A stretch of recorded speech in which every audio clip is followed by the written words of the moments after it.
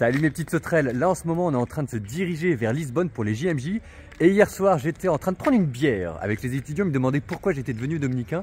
Et je me suis dit que ça ferait un, bon témoignage pour la chaîne. Donc je vous le mets et avec en bonus le début comment on a commencé la chaîne YouTube. Et vous verrez, c'est pas piquer des verres. Allez. Merci Cyril. Bon, du coup, je suis devenu dominicain parce que j'avais 20 ans, à peu près comme vous, je m'en suis foutu partout là. Et je cherchais quel sens pouvait avoir ma vie. Et en gros, quand même, euh, j'avais pas beaucoup de réponses, sauf en lisant l'évangile, je me suis aperçu que je voulais vivre comme Jésus. C'est peut-être bête, mais je voulais être aussi libre que Jésus. Je me suis aperçu d'une chose, d'ailleurs, je m'en suis aperçu quand, euh, quand j'ai commencé à réfléchir à la vie religieuse, c'est qu'en fait, je draguais les filles parce que c'est ce qu'on attendait de moi, et que c'est vrai que les filles étaient jolies, mais je me suis aperçu d'une chose, c'est qu'en fait, j'avais pas fondamentalement envie de rester tous les jours de ma vie avec la même fille, que j'étais pas fait pour être marié. Je pense que j'aurais été un bon mari, j'espère. Je pense que j'aurais été un bon père de famille, mais je ne sais pas si ça aurait suffi à me rendre heureux. J'avais besoin d'être libre et de vivre une aventure. Et c'est peut-être bête à dire, mais la seule personne qui m'ait proposé de vivre une aventure, c'était dans l'Évangile, et c'était Jésus. Et après, quand j'ai découvert Saint-Dominique, je me suis aperçu que c'était exactement la même chose. Euh, Jésus était libre, Saint-Dominique était libre, Jésus n'avait pas de femme, Dominique n'avait pas de femme, Jésus était pauvre, Dominique était pauvre, Jésus n'avait pas de métier, Dominique n'avait pas de métier. Ce qui, moi, ce qui m'a frappé, c'était la liberté qu'on sentait dans leur vie. Euh, Saint-Dominique, Saint-Dominique, XIIIe siècle, prédicateur dans le sud de la France, qui vivait de mendicité, qui parlait que de, de Saint-Dominique, on disait de lui, c'est pour ça que je suis devenu dominicain. Saint-Dominique, comme il aimait tout le monde, tout le monde l'aimait. Et vous imaginez, vous mourrez, on met ça sur votre tombe.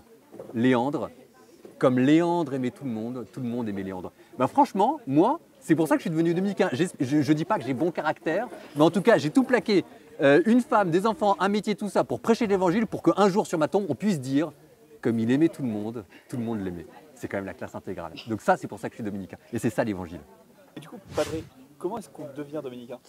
Alors, je suis devenu dominicain, donc moi j'ai frappé à la porte, j'avais 21 ans. J'ai commencé d'abord par 3 ans par regarder les yeux dans les yeux les dominicains pour savoir si jamais raisonnablement j'allais pouvoir y être heureux. Ça, c'est la prudence des vieux moines. Et ensuite, je suis rentré, on avait un an de noviciat fermé à Strasbourg. Au bout de l'année de noviciat, on a les 3 ans de vœux simples pour confirmer, mais normalement c'est plus, plus ou moins bon. Et au bout de 3 ans de vœux simples, Là, on a la profession solennelle, on s'allonge par terre, on fait la profession ou squad mortem. Je promets obéissance jusqu'à la mort. Euh, et ça, je m'en souviens, mon père était déjà mort. Ça, je regrette que papa n'ait pas été là, mais ça, c'était le grand jour de ma vie. La journée type d'un dominicain, ça varie quand même pas mal en fonction de vos missions, de votre couvent et de l'âge que vous avez, parce que euh, bah, j'ai pas la même vie religieuse quand je suis rentré dans les, ordres et maintenant quoi. Donc en ce moment, ça commence à 6 h du matin, et là j'enchaîne sur 2 heures de prière. Alors c'est assez varié, il y a une demi-heure de psaume, il y a une demi-heure de, prière silencieuse, il y a de l'étude de la Bible, il y a la messe, il y a les laudes. Mais en gros, j'ai mon gros bloc de prière entre 6h et 8h30 et à 9h, j'enchaîne le boulot. On a une petite réunion avec l'équipe et là, on a l'apostolat. Donc ça, c'est euh, bah, les vidéos sur l'amour vaincra. Donc là, on fait de 9h à midi. Euh, normalement, je fais mes vidéos, je les monte, etc. Midi et demi, repas. Une heure et demie, c'est le petit break. Sieste. Euh, café, euh, papote, euh, on rigole. Euh. Deux heures et demie, on reprend le travail avec prière du milieu du jour. On enchaîne jusqu'à 18h, 19h pour le travail, 19h vêpres. Petite pause. Généralement, je ne mange pas le soir. Ça ne sert à rien. C'est surcoté. Petite pause d'une demi-heure, 40 minutes, où là, je glandouille. Là, je tombe du côté obscur de YouTube. Euh, on va dire que c'est pour le boulot. Et puis, euh, après, je retourne au boulot à 20h. Je bosse jusqu'à 21h30. Parfois, j'ai des lives 21h, 22h. 22h30, là, j'ai mon filtre internet qui me dit c'est fini la journée de travail. Petite prière, glandouille et je dors vers 23h, 23h30, minuit. Ça, c'est la journée type. Les trois piliers de ma vie religieuse. D'abord, c'est ce que m'avait dit un ami quand j'avais votre âge, on devait avoir 22 ans, il me dit c'est bien que tu rentres dans la vie religieuse parce que comme ça tu pourras me marier. Ben, je lui ai dit mon coco, c'est pas pour toi que je suis rentré dans la vie religieuse, j'avais trouvé ça un peu fort. Bon bref. Donc euh, je n'ai pas sacrifié ma vie sur l'autel de la vocation pour que tout le monde autour de moi puisse avoir des belles vies, puisse se marier, avoir plein d'enfants et que moi je souffre. Je ne suis pas rentré dans la vie religieuse pour souffrir. Donc moi je suis rentré pour Dieu et uniquement pour Dieu. Deuxième truc, c'était euh, les études, la vérité. Alors j'ai bien conscience que maintenant tout le monde s'en fout de la vérité, euh, que maintenant les gens sont sur Netflix On appelle ça la puissance du mythe. Mais moi, quand même, ça voulait dire quelque chose, les études et la, vérité. Alors, avec le recul, je me dis quand même que la plus belle chose que m'ont appris les dominicains, c'était la Bible, en parlant de la vérité. Donc, par exemple, quand j'étais au noviciat, on était enfermés 3 heures le matin pour étudier la Bible. Donc, ça m'a permis de découvrir la Bible. Ensuite, on avait la prière avec les psaumes. Ça, c'est la grande prière des psaumes, parce qu'on dit que Jésus priait les psaumes. Donc, en fait, quand on ne sait pas prier, on dit les psaumes. Et on s'ennuie jamais en disant, en disant les psaumes. J'ai appris, euh, comme, Saint, comme Saint Dominique apprenait l'évangile par cœur, j'ai appris par cœur l'évangile de Saint Matthieu. Donc, les études, pour moi, ça passe par la Bible. Ça, ça m'a fait découvrir la vérité. Et puis après, il y a la vie apostolique. Ça, c'est le deuxième grand amour de ma vie, c'est de prêcher. Et donc, les frères dominicains, c'est la prédication. Donc, je suis rentré dans la vie religieuse pour prêcher l'évangile. Parce que, bon, Gabriel, vous, comme ça, imaginez qu'un jour, grâce à votre parole, alors évidemment, c'est Dieu qui convertit les cœurs, mais imaginez qu'un jour, grâce à votre parole, il y ait quelqu'un qui découvre Dieu, le Christ, l'évangile, et qui tout d'un coup obtienne la vie éternelle. Qu'est-ce que vous pourriez apporter de plus beau au monde que de lui donner la vie éternelle? Je ne sais pas si vous vous rendez compte de la joie que vous pouvez avoir quand vous parlez de Dieu et que dans les messages que les gens vous envoient, ils vous disent merci frère Paul Adrien parce que euh, c'est peut-être bête mais grâce à vos vidéos, moi j'ai découvert le Christ. Et là vous dites c'est quelqu'un qui est en train de découvrir la vie éternelle. Quel est le plus beau cadeau que Dieu puisse vous donner? Vous imaginez que grâce à votre parole, il y a des gens qui vont obtenir la vie éternelle. Vous voulez quoi d'autre? Donc ça c'est le deuxième pilier de ma vie. Prêcher l'évangile.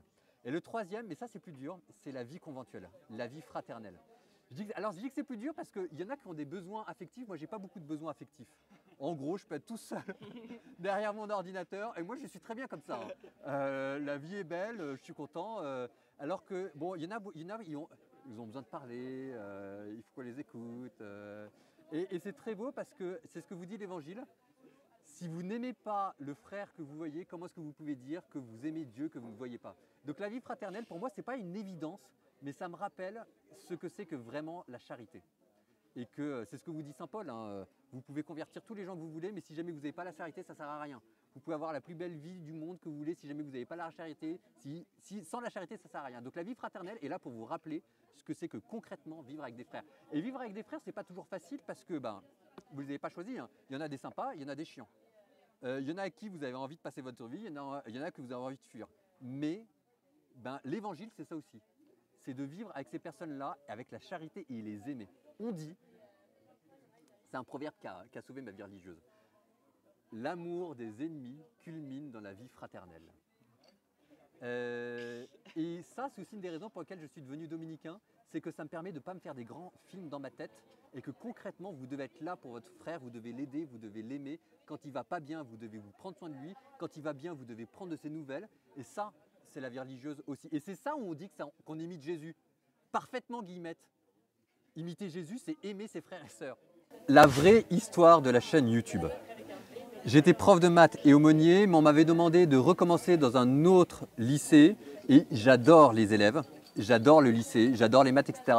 Mais il y a un petit côté de déjà vu de recommencer les mêmes choses. Donc j'ai demandé à me consacrer entièrement à la mission apostolique. Donc je me suis mis à la guitare et pendant deux ans j'ai bossé mon truc. Et là, euh, mon prieur provincial m'a demandé de changer de couvent. Et ça s'est mal passé. J'avais plus rien, mais vraiment plus rien. Mais, mais absolument plus rien. J'avais juste mon scooter en train de retourner chez ma mère et la guitare sur mon sac, en train de me dire Seigneur, je ne sais pas où je vais. J'avais tout perdu. Et là, je me souviens que j'ai dit à Dieu, je m'en fous, si jamais c'est nul, ce sera nul, mais je ferai des choses qui seront belles de manière gratuite pour Dieu, pour son royaume et pour l'Église. Et tel là où parce que je m'emmerdais, je me suis mis aux vidéos YouTube par hasard. Et c'est comme ça que tout a commencé. Et il y a une morale à cette affaire.